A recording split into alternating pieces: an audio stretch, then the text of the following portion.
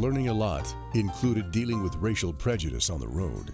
You know, there was a statement that I would that I used to say in the concerts all the time, and uh, probably need to go back to saying it again because it's still true.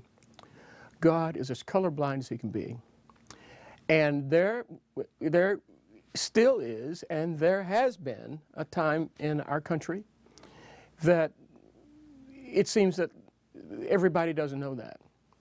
And I was in a concert area. Mm. We were all seated in the restaurant. We were waiting to be served, and the group was the Spurlows, and a lot of us just hungry, ready to eat. And we were sitting in the restaurant, and no one came to wait on us.